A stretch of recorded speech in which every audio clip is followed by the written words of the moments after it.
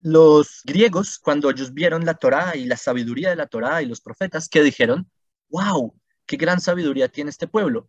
Traduzcámoslos para poner este libro en la biblioteca de Alejandría, para darle, digamos, para subir el estatus de la Torá.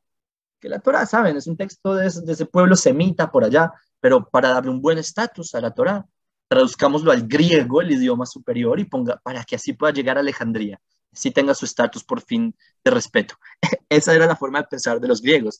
Y por eso es que la Septuaginta, eso es a lo que se refieren los sabios de que cuando se tradujo la Septuaginta, el cielo se oscureció. No en el sentido de que, como les dije, Shenglong, las esferas del dragón, no, sino que en el sentido de que realmente están limitando la Torah. A propósito, esto es un paréntesis que tiene mucho que ver con los Benei Noach, con los Noajidas.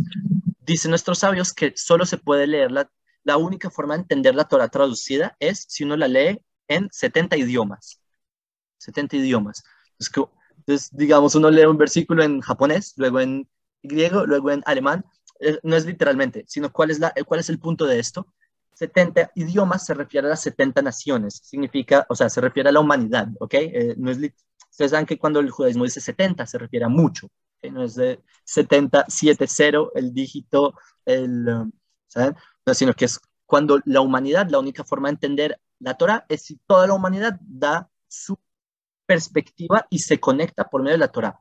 Pero cuando tú solo tomas una de las perspectivas, que es la griega, o digamos hoy en día la romana, aunque ya hoy en día hay mutaciones, variaciones de, de lo que es el protestantismo alemán y anglicano y neoanglicano y todo lo que existe hoy en día, em, pero si tú ves la, la Torah desde una sola perspectiva, que no es la perspectiva, tratando de homogenizarlo y decir, esa es la perspectiva única y válida, entonces ahí es cuando cae. Por eso es la importancia de que los Bnei a propósito, tengan un centro, eh, una conexión con, el, con Israel y un centro de Bnei en Israel para estar así conectados. Eso es una de las, digamos, de los puntos más grandes. Por eso es que yo soy tan fan del, del concepto del Rav y del Britolam, porque Britolam es un centro para Benay que por fin, o digamos cuando existe un Sanedrín, va, se van a poder conectar el Sanedrín israelí con el Sanedrín o los Sanedrines noágidas, que estos son los 70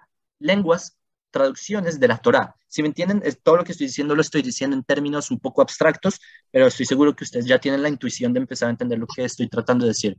Em, a propósito, ustedes saben que así es el judaísmo. El judaísmo no les va a decir cosas todas abstractas como, ¿no? Eh, no les va a hablar en idioma kantiano, no les va a decir, ah, sí, eso es el nuómeno, eh, sino que la Torah les va a decir, ah, sí, ese es el brazo extendido de Dios. Y uno, ¿qué? Como así? Pero así es el lenguaje que usa el judaísmo, usa un lenguaje que da explicaciones amplias y esto es a 70 naciones, etcétera, ¿me entendieron? Ok, hasta aquí espero no haberles revuelto un poco la cabeza con todo lo que acabo de decir, pero em, volviendo al tema